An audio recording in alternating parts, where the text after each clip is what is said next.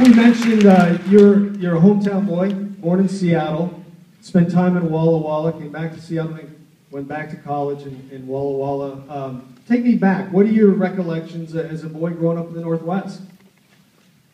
Well, I grew up on a ranch outside of Walla Walla, Washington, mostly. And then we got a house in town. And, but I spent most of my young life on the ranches with my grandfather, my father. I mean, I sloughed the hogs, I milked cows, I chased cattle. I did everything. But you know, they put us in the movies on Saturday mornings downtown at the Roxy Theater. And we saw all those great Western movies and the serials, Flash Gordon and all that stuff. And I thought, you know, there must be a bigger world out there somewhere than taking care of these hogs. And I guess I began to get a little interest and ambition in that direction. And my mother had been, uh, had um, a scholarship in Hollywood as a singer and a pianist, and, and uh, uh, she kind of encouraged me. And the rest is history. And Burt, you It's were, all luck. Burt, you were uh, a young, athletic kid, right? An ice skater from a very young age. Uh, two. I was Two. the world's youngest professional ice skater. My father owned a traveling ice show, so he wanted to put me to work young, and I thought two might be a little on the young side. And he was called Sparky. That's right. That's right. Tell and, us uh, why. But uh, I, you know, I, I, I was a very dedicated student. I, I went to uh, went to Beverly High. I lived in Southern California. Uh, I was in the top three percent in math and science on the college level at UCLA. I was supposed to be a nuclear physicist, although I kind of liked Robin better.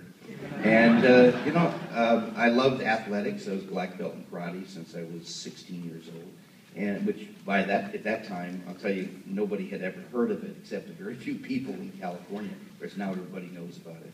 So it was a it was a lot of fun, and for me, I really liked the fight scenes. I liked all the action. It wasn't something that was uh, we had to put on anything or that. I mean, Adam and I are really, you know, we're athletic people, and we really enjoyed the fight scenes. We enjoyed the the the, the action of, of climbing the walls, all that kind of stuff and we enjoyed the audiences and playing to the audiences, but we did have the censors every week that were really honest because, you know, we, oh, you can't do that, you can't say that.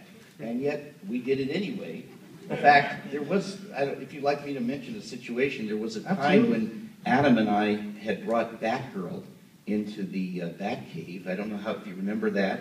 We were going to show her the Batcave. We had to give her a little whiff of bat gas so she wouldn't recognize where she was. We brought her into the Batcave. We showed her the Batcave, and on the way out, there was this scene where uh, Adam as Batman is start getting ready to start up the Batmobile. Batgirl is sitting in between us, and I'm sitting, in, of course, in my chair. And uh, he gives her this bat gas and knocks her out, and we have this just very short dialogue, just a couple of lines. And you know, the two of us having worked together for so long, I mean, it, uh, nothing. You know, it's one of those things, first take. But it wasn't first take here. For some reason, my dear friend kept missing the lines, and, and I didn't understand because that's not like him. He, he knows his stuff. But by the time we got to take 11, and, and at $30,000 an hour, okay, and you could see the director panicking in his eyes, I knew that something really was up. Uh-huh. And the dialogue was something like this. He, I said, "Gosh, Batman, you know, Batgirl is really pretty."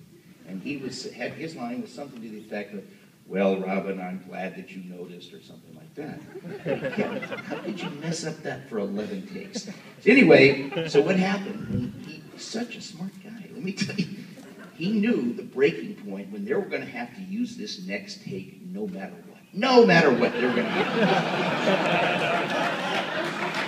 funny how your memory comes back when you have the right lines to say. So uh, here we go. Take 12. You know, roll camera, action. Gosh, Batman, you know, Batgirl is really pretty.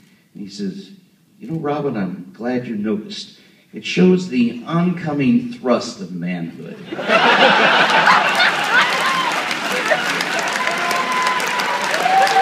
now, now, I could hardly keep from laughing I had tears coming down my mask. I didn't want to ruin the shot. The director didn't even notice. He was so desperate to move on to the next scene. But boy, next week when those censors came in, they were madder than hell.